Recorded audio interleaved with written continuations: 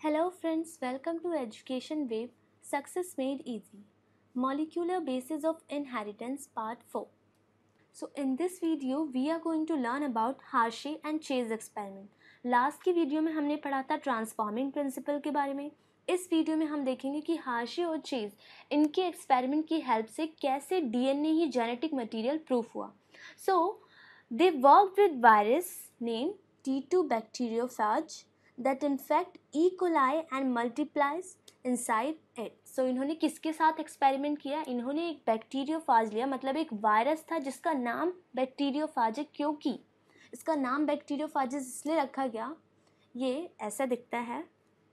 ठीक है? सो bacterio bacteriophages का मतलब यहाँ पे क्या है? क्योंकि ये है एक्चुअली में वायरस लेकिन इसको हम बोल रहे हैं बैक्टीरियो बैक्टीरियोफाजिस तो बैक्टीरियोफाजिस का क्या मतलब है? यहाँ पे दैट इन्फेक्ट बैक्टीरिया वायरस वो वायरस जो किसको इन्फेक्ट करे? बैक्टीरिया को। So viruses that infect bacteria उन्हें हम बोलते हैं bacteriophages so experiment with T two bacteriophage ठीक है? सो जो बैक्टीरियोफाजिस हैं, उसमें ही एक एग्ज़ाम्पल है टी टू बैक्टीरियोफाज इन्होंने इसके साथ एक्सपेरिमेंट किया। अब हार्शे और चेज एक्सपेरिमेंट में इन्होंने इसी बैक्टीरियोफाज को मतलब इसी वायरस को क्यों लिया? टी टू बैक्टीरियोफाज को ही क्यों लिया?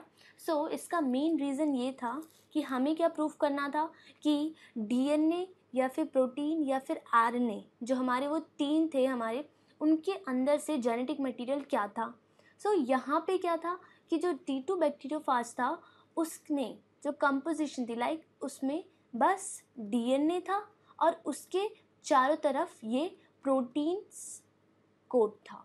सो so, यहाँ पे दो ही चीज़ें थी जिसके अंदर वो कंपेयर करता और वो प्रूफ कर सकता था कि वो डीएनए था जो जेनेटिक मटेरियल जो मतलब वायरसेस में से बैक्टीरिया में ट्रांसफ़र हो रहा है या फिर वो प्रोटीन है। तो यहाँ से इन दोनों चीज़ों की वजह से होने की वजह से उसने वायरस कौन सा चूज़ किया जो टी टू बैक्टीरियोफाजिस थे उसे लिया अपने एक्सपेरिमेंट में। नाउ बैक्टीरियोफाजिस के बारे में हम पढ़ चुके that T two phage is made up of DNA and protein coat ये बाकी जो है ये जो यहाँ पे दिख रहा है वो क्या है हमारी? टेल ठीक है? सो so, ये है हमारा डीएनए ये इसके चारों तरफ़ प्रोटीन की बनी हुई कोट है जिसके अंदर हमें अब ये जानना है कि जब उसने हमारे बैक्टीरिया को इन्फेक्ट किया ठीक है? तो जब इन्फेक्ट किया तो जो डीएनए था वायरस में से वो उसकी बॉडी के अंदर ट्रांसफ़र हुआ है एज अ जेनेटिक मटेरियल वो उसकी बॉडी के अंदर गया। या फिर ये है मतलब डीएनए एक जेनेटिक मटेरियल है, या फिर प्रोटीन उसकी बॉडी के अंदर ट्रांसफ़र हुआ है मतलब प्रोटीन जेनेटिक मटेरियल है। इसीलिए उसने टी टू बैक्टीरियोफाजिस को लिया। Now viruses that infect bacteria and replicate inside it so वो वायरसेस जो बैक्टीरिया को इन्फेक्ट करे और उसी की बॉडी में रेप्लिकेट करे, ठीक है? सो so, ये क्या करेगा? जब ये अपना डीएनए उस होस्ट की बॉडी में ट्रांसफ़र करेगा लाइक like अगर मे बी वो डीएनए भी हो सकता है अगर डीएनए जेनेटिक मटेरियल हुआ या फिर प्रोटीन अगर जेनेटिक मटेरियल है तो वो प्रोटीन को जो बैक्टीरियल सेल है, उसकी बॉडी में ट्रांसफ़र करेगा। जब वो जेनेटिक मटेरियल को उसकी बॉडी में ट्रांसफ़र करेगा तो वहाँ पे क्या होगी? रेप्लीकेशन स्टार्ट होगी। मतलब टी टू बैक्टीरिया फाज क्या करेगा? रेप्लीकेट करना स्टार्ट हो जाएगा। नाउ द फ़ंक्शन अब यहाँ पे हुआ क्या कि इन्होंने क्या लिया? डीएनए प्लस में प्रोटीन को, अब इसको इन्हों, इन्हें प्रूफ करना था कि इन दोनों में से जेनेटिक मटेरियल कौन है? तो इन्होंने क्या किया? अब हमें पता है कि जो डीएनए है, उसकी कंपोजिशन में क्या आता है? फोस्फोरस और जो प्रोटीन था, उसकी कंपोजिशन सल्फ़र और लेकिन डीएनए में सल्फ़र नहीं होता और ना ही प्रोटीन्स की कंपोजिशन में फोस्फरस होता है। तो यहाँ पे डिफ्रेंशिएट करना इजी हो गया कि यहाँ पे मिक्सअप नहीं होगा। लाइक अगर जैसे फॉर एग्जांपल ये जो बैक्टीरिया है, अगर उसकी बॉडी में फोस्फोरस मिला तो क्या होगा? पक्का जो होगा डीएनए ही इसकी बॉडी के अंदर वायरस के वायरस के अंदर से डीएनए ही ट्रांसफ़र हुआ होगा बैक्टीरियल सेल में। अगर इसकी बॉडी में सल्फ़र मिला तो क्या होगा वो? प्रोटीन होगा जेनेटिक मटेरियल तो अगर सल्फ़र डीएनए की बॉडी में नहीं हो तो ये बात श्योरली प्रूफ हो जाएगी कि वो क्या था? प्रोटीन ही था। अगर फोस्फोरस मिला तो ये बात श्योरली प्रूफ हो जाएगी कि वो प्रोटीन ही था, क्योंकि प्रोटीन में तो सल्फ़र नहीं होता, बस डीएनए ही है जिसकी कंपोजिशन में फॉस्फोरस होता है। इसीलिए उन्होंने इसी का फ़ायदा उठाते हुए क्या किया? अपने एक्सपेरिमेंट में क्या दिखाई? क्लेवरनेस दिखाई जिस के अंदर the function of DNA and protein could be found out by labelling them with radioactive traces and DNA contain phosphorus but not sulphur so similarly यहाँ पे क्या हुआ कि कुछ बैक्टीरियोफाजिस मतलब कुछ वायरसेस को एक रेडियो एक्टिव फोस्फोरस मीडियम के अंदर ग्रो किया गया। अब वहाँ पे रेडियो एक्टिव फोस्फोरस था तो जिसकी वजह से वो जो बैक्टीरिया वहाँ पे ग्रो हो रहे थे, उनके डीएनए में भी रेडियो एक्टिव फोस्फोरस मिला। ठीक है? अगर फॉर एग्ज़ाम्पल यहाँ पे एक एनवायरनमेंट है जिसके अंदर रेडियो एक्टिव फोस्फोरस है यहाँ पे हम वायरस जो टी टू बैक्टीरियोफाज है, उसको हम ग्रो कर रहे हैं। तो जो भी जो हमारे जितने भी वायरसेस यहाँ पे ग्रो होंगे, उन सभी के डीएनए में रेडियो एक्टिव फोस्फोरस मिलेगा, क्योंकि उस, जो डीएनए है, उसकी कॉम्पोजिशन में फोस्फोरस है और यहाँ पे फोस्फोरस कैसा मिला? रेडियो एक्टिव सो इसी के कारण जो डीएनए था, वो भी क्या हो गया? रेडियो एक्टिव हो गया। लेकिन दूसरी साइड इन्होंने क्या किया? कि कुछ बैक्टीरियोफाजिस को उन्होंने किस मीडियम में ग्रो किया?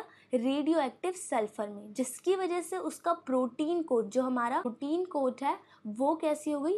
रेडियो एक्टिव सल्फ़र से बन गई। तो कुछ बैक्टीरियोफाजिस ने क्या किया? उसने रेडियो एक्टिव सल्फ़र के मीडियम में ग्रो किया, जिसकी वजह से उन जो वायरसेस की जो प्रोटीन कोड थी, वो रेडियो एक्टिव हो गई। रेडियो एक्टिव सल्फ़र उसमें मिला। और कुछ वायरसेस को उसने रेडियो एक्टिव फोस्फोरस मीडियम में ग्रो किया जिसकी वजह से उनके डीएनए कंपोजिशन में फोस्फोरस जो रेडियो एक्टिव फोस्फोरस था वो आ, मिला। सो so, अब क्या किया उन्होंने? Similarly protein of phages contain sulphur but not phosphorus तो यहाँ पे भी वही बताया मैंने अभी कि जो प्रोटीन्स थे उसके अंदर जो प्रोटीन ऑफ़ फाजिस जो वो क्या कंटेन कर थे? सल्फ़र जो कि फॉस्फोरस बट नॉट फॉस्फोरस लेकिन उनकी बॉडी में जो कंपोजिशन थी प्रोटीन में, उनमें फॉस्फोरस नहीं था। तो ये इनके बीच में डिफ्रेंशिएशन था, जिसका उन्होंने फ़ायदा उठाया। Now some bacteriophages were grown in radioactive phosphorus medium जिन्हें उन्होंने कहाँ ग्रो ग्रो किया? जो रेडियो एक्टिव फॉस्फोरस मीडियम था, जिसकी वजह से उनका जो डीएनए था, वो कैसा हुआ? Radioactive and their DNA will be radioactive but proteins will not be radioactive लेकिन उनके प्रोटीन फॉर एग्ज़ाम्पल अगर यहाँ पे मैं एक बैक्टीरियोफाज बनाऊँ ठीक है? तो यहाँ पे इसकी जो प्रोटीन कोट है ठीक है? इसकी जो प्रोटीन कोट है वो रेडियो एक्टिव नहीं होगी क्योंकि उस की कंपोजिशन में प्रोटीन की कंपोजिशन में सल्फ़र मिलता है फोस्फोरस नहीं। सो so, फोस्फोरस नहीं मिलता तो फोस्फोरस रेडियो एक्टिव यहाँ पे होगा भी नहीं इसलिए ये रेडियो एक्टिव प्रोटीन कोट नहीं होगी। लेकिन डीएनए जो था उसके अंदर क्या था हमारा? रेडियो एक्टिव फोस्फोरस जिसकी वजह से जो डीएनए था वो रेडियो एक्टिव उसके अंदर रेडियो एक्टिविटी देखी गई। Now because protein does not contain phosphorus इसलिए प्रोटीन जो प्रोटीन कोड था हमारे वायरस का, वो नहीं था रेडियो एक्टिव सो हमने देखा यहाँ पे कि ये जो डीएनए है, उसको हमने रेडियो एक्टिविटी को यहाँ पे ब्लू से शो किया है तो देख सकते हो कि जो ये डीएनए है, ये पूरा हमारा टी टू बैक्टीरियोफाज है, ये पूरा वायरस है हमारा, जिसका डीएनए क्या है? रेडियो एक्टिव ठीक है? सो so, यहाँ पे ये जो ब्लू कलर है वो रेडियो एक्टिविटी को शो कर रहा है। नाउ नेक्स्ट उन्होंने जो किया similarly some were grown in the radioactive sulphur medium अब कुछ को उन्होंने किसमें ग्रो किया? सल्फ़र मीडियम में। So that the protein coat will be radioactive but D N A will not be the radioactive one अब मैं फिर से वही बात रिपीट नहीं करूँगी बस सिंपल है यहाँ पे। कि इस बार उन्होंने सल्फ़र मीडियम में ग्रो किया जिसकी वजह से उनकी प्रोटीन कोड क्या हुई? रेडियो एक्टिव डीएनए लेकिन उसका रेडियो एक्टिव नहीं हुआ। ठीक है? सो so, यहाँ पे हमने उसके प्रोटीन कोड को ब्लू से शो किया है। ठीक है? यहाँ पे हमने क्या किया? पूरे प्रोटीन कोड को हमने उसके ब्लू से शो किया है लेकिन यहाँ पे जो डीएनए है वो रेडियो एक्टिव नहीं था। ठीक है? अब देखेंगे उन्होंने आगे क्या किया। जब उसको इन दोनों से जब उन्होंने बैक्टीरिया को इन्फेक्ट कराया तो क्या हुआ? रिज़ल्ट क्या हुआ कि कौन गया उसकी बॉडी के अंदर और कौन था जेनेटिक मटेरियल? ठीक है? नाउ उन्होंने क्या किया?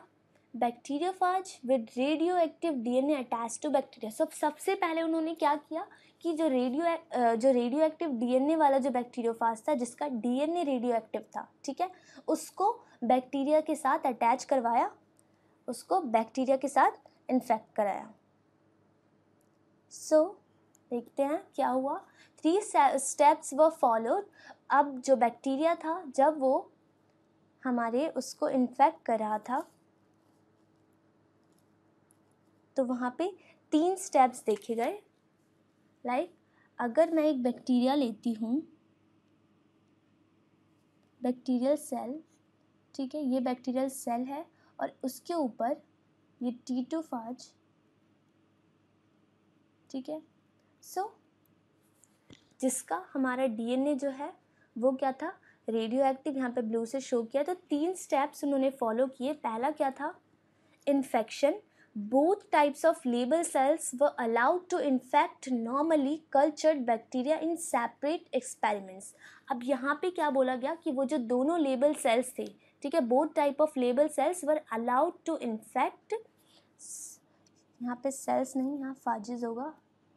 दोनों जो लेबल थे लाइक जो फोस्फोरस वाला था मान लेते कि ये वाला और जो दूसरा हमारा जिसकी प्रोटीन कोड सल्फ़र की थी वो दोनों उन दोनों को सेपरेट एक्सपेरिमेंट में हमने क्या करवाया? बैक्टीरिया के ऊपर इन्फेक्ट कराया। सो so, यहाँ पे अभी हम बैक्टीरिया को किससे इन्फेक्ट करा रहे रेडियो एक्टिव डीएनए वाले से। सो हम्म, so, ये होता है इसको हमने क्या टर्म दिया? इन्फेक्शन सो इन्फेक्शन में हमने क्या किया? वो जो बैक्टीरियोफाज था उसको हमने आ, उसको हमने जो बैक्टीरियल सेल थी अब ये बैक्टीरियल सेल हमने ई e. कोलाई की ली थी। ठीक है इकोलाई एक बैक्टीरिया होता है जिससे हमने इस बैक्टीरिया जो टी टू बैक्टीरियोफेज है उससे हमने अटैक करवाया। सो so, सेकेंड क्या था? Blending now this bacteria cells were agitated in a blender to break the contact between virus and bacteria अब इन्फेक्शन कराने के बाद क्या हुआ? इन्फेक्शन करा दिया। सो so, क्या हुआ होगा? इन्फेक्शन में भी तीन स्टेप्स इन्वॉल्व होता है। आपको पता होगा कि सबसे पहले लैंड होना देन पिनिंग ठीक है? यहाँ से क्या होगा? जब ये पूरा अटैच होगा बैक्टीरियल सेल से और फिर पेनिट्रेट होगा मतलब इसके अंदर जो डीएनए है या फिर कुछ भी, जो भी जेनेटिक मटेरियल होगा, वो पेनिट्रेट कर जाएगा किसमें? बैक्टीरियल सेल वॉल के थ्रू बैक्टीरिया के अंदर, ठीक है? सो मान लेते हैं कि इसके अंदर जो भी जेनेटिक मटेरियल था, वो इस बैक्टीरिया के अंदर पेनिट्रेट करके आ गया। तो इस तीनों स्टेप्स मतलब कि ये जो लैंडिंग होना, फिर पिनिंग होना और फिर क्या था? पेनिट्रेशन तो ये तीनों स्टेप्स किसमें इन्वॉल्व होते हैं? हमारे इन्फेक्शन में। तो अब ये तीनों स्टेप्स इन्वॉल्व हो गए मतलब कि जो भी था हमारा जेनेटिक मटेरियल क्या पता वो क्या जेनेटिक मटेरियल था, वो डीएनए था या फिर प्रोटीन कोड था, लेकिन अभी हम यहाँ पे क्या देख रहे हैं कि डीएनए वाला देखा है हमने। तो यहाँ पे क्या हुआ, जब, जो जेनेटिक मटेरियल इसकी बॉडी के अंदर, जो बैक्टीरियल सेल था, उसकी बॉडी में आ चुका है। अभी आपको ये देखना है। सो नेक्स्ट स्टेप हमने क्या किया? ब्लैंडिंग अब ये भी बात सुनिए कि जो हार्शियन चीज़ एक्सपेरिमेंट था उसमें कभी कभी एग्ज़ाम में डायरेक्टली नहीं पूछता कि कि हाशियन चेज एक्सपेरिमेंट क्या था। कभी कभी क्या पूछा जाता है कि what what is blending process या फिर ब्लैंडिंग एक्सपेरिमेंट क्या था? तो यहाँ पे देखिए, ये जो ब्लैंडिंग दिख रहा है, इसी से बना है इसको, इसीलिए इसका नाम क्या था? ब्लैंडिंग एक्सपेरिमेंट का भी नाम दिया गया था, ठीक है? तो कभी एग्ज़ाम में आ जाए तो कंफ्यूज मत होना क्योंकि हमने स्टेप्स पढ़ रखे हैं, ठीक है? सो ब्लैंडिंग का क्या मतलब होता है? This bacterial cells were agitated in a blender उसे ऐसे ब्लैंडर में एजिटेट किया जाएगा, जिसकी वजह से जो बैक्टीरियल सेल होता है और हमारा ये जो बैक्टीरियोफाज है मतलब वायरस है, वो दोनों के बीच का जो कॉन्टैक्ट है, वो टूट जाएगा। मतलब ये दोनों के दोनों आपस में सेप जो मिले हुए हैं, वो सेपरेट हो जाएँगे। फिर आता है last step third step centrifugation इस स्टेप में क्या होता है? The virus particles were separated from the bacteria by spinning them in a centrifuge अब इन दोनों को सेपरेट कर दिया हमने किससे? ब्लेंडर से।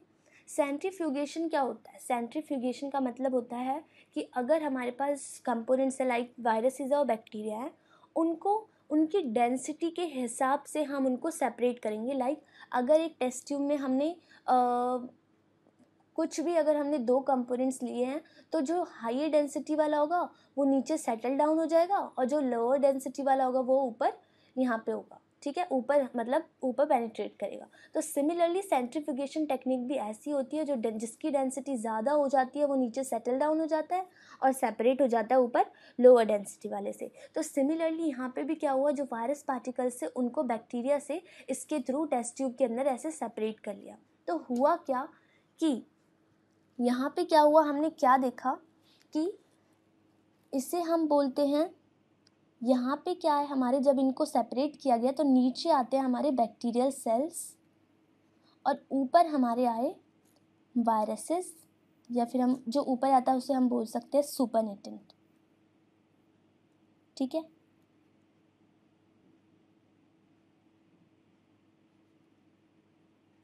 सो so, यहाँ पे हमारे जो वायरसेस थे ऊपर हमारे वायरसेस आए और नीचे हमारे बैक्टीरियल सेल्स आए। तो देखा क्या गया कि जब इन दोनों को एग्जामिन किया गया कि बैक्टीरियल सेल्स में कौन सी चीज़ रेडियो एक्टिविटी ठीक है? तो यहाँ पे हमने देखा कि जो बैक्टीरियल सेल्स थे वो क्या थे?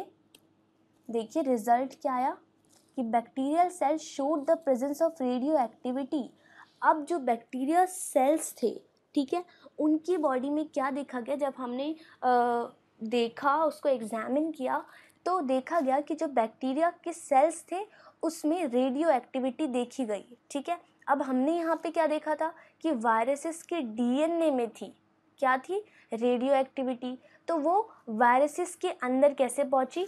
तो ऑब्वियसली वो डीएनए के थ्रू ही पहुँची होगी। तो डीएनए ही क्या था? एक ऐसा जेनेटिक मटेरियल था, जो एक बॉडी से वायरस की बॉडी से बैक्टीरियाज में ट्रांसफ़र हो रहा था, ठीक है? तो यहाँ से हम ये देख सकते हैं कि ये प्रूफ हो रहा है कि जो वायरस है वायरस है, उसकी बॉडी से डीएनए जो था, जो कि रेडियो एक्टिव था, वो बैक्टीरियल सेल्स में एग्जामिन करने के बाद पाया गया है। तो इससे ऑब्वियसली प्रूफ होता है कि जो डीएनए है, वही जेनेटिक मटेरियल है। लेकिन और भी ज़्यादा श्योरिटी के लिए, अभी हम दूसरा वाला केस भी देखेंगे जिसके अंदर प्रोटीन कोड क्या थी? रेडियो एक्टिव ठीक है? तो यहाँ पे प्रूफ हो जाता है कि जो बैक्टीरियल सेल्स थे, वो क्या दिखा रहे थे? रेडियो एक्टिविटी लेकिन no radioactivity detected in supernatant so ऊपर कोई भी रेडियो एक्टिविटी शो नहीं हुई थी। तो इससे क्या प्रूफ होता है कि जो जो डीएनए था, वो ऑब्वियसली पक्का बैक्टीरियल सेल्स में ट्रांसफ़र हुआ था, जिसकी वजह से उसकी रेडियो एक्टिविटी बैक्टीरियल सेल्स के अंदर आ गई थी। अब केस सेकंड देखते हैं, ताकि हम हंड्रेड परसेंट श्योर हो सके कि हाँ डीएनए हमारा जेनेटिक मटेरियल था। नाउ नेक्स्ट केस में हम देखते हैं कि bacteriophages with radioactive protein attach to bacteria तो यहाँ देखिए, हमने इसकी पूरी प्रोटीन कोट ली है किसकी? ब्लू से, ताकि मैं रेडियो एक्टिविटी शो करी और ये इसका डीएनए है। अब देखते हैं बैक्टीरिया वॉज़ इन्फेक्टेड अब हमने उसको बैक्टीरिया को इन्फेक्ट कर लिया वही प्रोसेस हुई लैंडिंग पिनिंग पेनिट्रेशन एजिटेट करके ब्लेंडर से उन दोनों को सेपरेट कर लिया फिर सेंट्रीफ्यूग किया separated the phages particles as supernatant अब क्या हुआ? जो वायरसेस पार्टिकल्स थे वो ऊपर आ गए एज अ सुपरनेटेंट और जो नीचे बचा वो बैक्टीरियल सेल्स होंगे। सो so, यहाँ देखिए कि अब जो नीचे बैक्टीरियल सेल्स थे यहाँ पे क्या हुआ? ऊपर जो ऊपर जो हमारा सुपरनेटेंट था उसमें देखा गया कि जो सुपर सुपरनेटेंट था मतलब जो वायरसेस पार्टिकल्स थे, जो सुपरनेटेंट था, जो वायरसेस पार्टिकल्स या फिर फाजिस कह सकते हैं, उसमें क्या देखी गई? रेडियो एक्टिविटी लेकिन जो डीएनए, यहाँ पे जो वायरसेस के अंदर जो डीएनए था, जो कि रेडियो एक्टिव नहीं था, यहाँ बैक्टीरियल सेल्स में नहीं देखा गया। मतलब जो बैक्टीरियल सेल्स थे, वो नॉन रेडियो एक्टिव थे। बैक्टीरियल सेल्स में कोई रेडियो एक्टिविटी नहीं देखी गई। सो so, इससे देखा इससे हमने क्या प्रूफ करा कि जो रेडियो एक्टिव बैक्टीरियल सेल्स थे ना रिज़ल्ट क्या आया कि बैक्टीरिया दैट वो इन्फेक्टेड विद वायरसेस जिनको हमने वायरसेस से इन्फेक्ट किया that had radioactive proteins जिसके प्रोटीन्स मतलब जो बाहर का जो कोट था वो रेडियो एक्टिव था वर नॉट रेडियो एक्टिव ठीक है? अब यहाँ पे जो बैक्टीरिया इन्फेक्ट किए गए ये जो रेडियो एक्टिव प्रोटीन जिनके चारों तरफ़ था, उसकी वजह से जो बैक्टीरिया हमने इन्फेक्ट किए, उसके अंदर कोई रेडियो एक्टिविटी नहीं पाई गई। तो इससे साफ़ होता है कि प्रोटीन तो पक्का इस बैक्टीरिया के अंदर नहीं गया है, ठीक है? अगर प्रोटीन जाता तो बैक्टीरियल सेल्स में रेडियो एक्टिविटी पाई जाती। लेकिन यहाँ पे क्या हुआ कि वो ऊपर देखी गई मतलब सुपरनेटेड में, जो कि वायरसेस के अंदर प्रोटीन कोड तो बॉडी के अंदर नहीं जाता। इसीलिए क्या गया था? डीएनए गया था। इसीलिए फ़र्स्ट केस में देखा गया कि जो डीएनए जब उसके अंदर ट्रांसफ़र हुआ तो बैक्टीरियल सेल क्या था? रेडियो एक्टिव था। लेकिन यहाँ पे डीएनए नहीं ट्रांसफ़र हुआ, जो कि रेडियो एक्टिव नहीं था। तो यहाँ पे bacterial cells non radio active था। तो इतनी बड़ी बात हमने इतने छोटे से एक्सपेरिमेंट से प्रूव कर ली थी। ये किसने किया था? हाशी एंड चेज एक्सपेरिमेंट ने ठीक है? सो so, यहाँ पे प्रूफ हो चुका था कि therefore DNA is the genetic material that is passed from viruses to bacteria इतना सिंपल सा एक्सपेरिमेंट था, लेकिन उस टाइम पे ये एक्सपेरिमेंट बहुत ज़्यादा, इसको बहुत ज़्यादा सराहा गया था कि ठीक है, कि कितनी इजीली उन्होंने ये प्रूफ कर दिया था कि प्रोटीन नहीं डी डीएनए ही एज अ जेनेटिक मटेरियल लिया। तो यहाँ पे उन्होंने इतनी क्लेवरनेस दिखाई थी कि उन्होंने रेडियो एक्टिविटी का इस्तेमाल करके ये पूरा एक्सपेरिमेंट प्रूफ किया था। तो हाशी एंड चेज एक्सपेरिमेंट के थ्रू भी प्रूफ हुआ था कि डीएनए ही जेनेटिक मटेरियल था। नाउ यहाँ देखते हैं इमेज के थ्रू कि जो हमारी एन में भी दे रखा है कि ये देखिए बैक्टीरियो बैक्टीरियोफाजिस लिए हमने यहाँ पे यहाँ पे हमने radioactive S thirty five ये सब, इससे आप कंफ्यूज मत होना और ना ही यहाँ पे अगर आपको लिखने की ज़रूरत है तो कभी जब आप ऑब्जर्वेशन को ऐसे लिख रहे होगे एग्ज़ाम में तो एक बार आप शो कर सकते हो, लेकिन बार बार इसे लिखने की ज़रूरत नहीं है। तो लेकिन यहाँ पर आपको बता दूँ कि यहाँ पर थर्टी फाइव लिखने का क्या मतलब है कि ये सल्फ़र का आइसोटोप है। केमिस्ट्री में आपने पढ़ा होगा, और ये हमारा फोस्फोरस का आइसोटॉप है। तो यहाँ पे हमने रेडियो एक्टिव फोस्फोरस लिया, जिसकी वजह से हमने यहाँ पे रेड दिखाया डीएनए हमारा, और यहाँ पे हमने रेडियो एक्टिव प्रोटीन लिया, जिसकी वजह से हमने पूरी आउटर कवरिंग रेड दिखाई है। नाउ यहाँ पे क्या हुआ? इन्फेक्शन हुआ, जिसकी वजह से देखिए, पहले लैंडिंग हुई होगी, फिर यहाँ पे वो पिनिंग हुई अटैचमेंट और फिर ये पेनिट्रेट होके अंदर आ गया। फिर ब्लैंडिंग हुई मतलब ये दोनों को हमने सेपरेट कर लिया, और फिर सेंट्रीफ्यूगेशन से उन दोनों को एक टेस्ट ट्यूब के अंदर ऐसे ऊपर सुपरनेटेंट और नीचे बैक्टीरियल सेल्स। यहाँ पे भी बैक्टीरियल सेल्स, ऊपर सुपरनेटेंट। तो यहाँ क्या देखा गया? No radioactivity detected in cells तो यहाँ जो बैक्टीरियल सेल्स थे, उसमें नो रेडियो एक्टिविटी फाउंड तो यहाँ पे देखिए डीएनए के अंदर भी कोई रेडियो एक्टिविटी नहीं थी। और बैक्टीरियल सेल्स के अंदर मतलब डीएनए जब गया होगा तो बैक्टीरियल सेल्स के अंदर भी कोई रेडियो एक्टिविटी नहीं है। तो यहाँ से प्रूफ होता है कि जो बैक्टीरियल सेल्स थे, वही ट्रांसफ़र हुए थे। यहाँ पे सुपर में क्यों पाई गई? क्योंकि वायरसेस जो थे वो प्रोटीन कोड बाहर छोड़ के गए थे। मतलब ये जो प्रोटीन कोड था वो वायरसेस के पास ही था। और ऊपर क्या थे सारे वायरसेस तो इसलिए वो रेडियो एक्टिविटी दिखाई गई। सिमिलरली दूसरे केस में क्या हुआ कि जो डीएनए था, जो हमारा रेडियो एक्टिव था, वो इसमें पास हुई होगी, जिसकी वजह से बैक्टीरियल सेल्स क्या थे? रेडियो एक्टिविटी तो यहाँ पे रेडियो एक्टिविटी शो हुई। मतलब रेडियो एक्टिव फोस्फोरस यहाँ पे डिटेक्ट हुआ। लेकिन जो सुपरनेटेंट था जिसके अंदर जो वायरसेस के पास कोई रेडियो एक्टिव डीएनए था ही नहीं वो ऊपर था जिसकी वजह से उसके अंदर कोई भी रेडियो एक्टिविटी नहीं डिटेक्ट हुई जिससे कि ये प्रूफ हो गया कि डीएनए ही था जो कि एक आ, वो मतलब एक ऑर्गेनिज्म से दूसरे ऑर्गेनिज्म यहाँ पे पास हो रहा था या फिर फ़र्स्ट जनरेशन से दूसरे जनरेशन में जाता है या फिर कहीं से भी किसी भी ऑर्गेनिज्म से पास होता है। तो यहाँ पे से प्रूफ हो गया था। सो so, ये था हमारा हाशियन ट्रेज एक्सपेरिमेंट कोई कन्फ्यूज़न की बात नहीं है यहाँ पे। अगर आपको कोई डाउट हो तो प्लीज़ आप कमेंट कर सकते हैं। ठीक है? मैं आंसर ज़रूर करूँगी इससे रिलेटेड अगर कुछ भी हुआ तो। And thank you so much अगर आपको ये वीडियो पसंद आई तो लाइक ज़रूर करिएगा। Now help us to do more अगर आपको और वीडियोस चाहिए हमारी और हेल्प चाहिए तो आप भी हमारी हेल्प कर सकते हैं। पेटीएम के थ्रू आप जितना अफोर्ड करें एजुकेशन वेब को दे सकते हैं ताकि एजुकेशन वेब और भी ज़्यादा वीडियोस प्रोवाइड कर सके। So please help to keep education free for anyone and anywhere forever thank you so much and please subscribe like and comment also और अपने फ्रेंड्स के साथ शेयर कीजिए और हमें फेसबुक और इंस्टाग्राम पे ज़रूर फॉलो करिए ताकि हम आपको लेटेस्ट अपडेट्स दे सकें। Thank you so much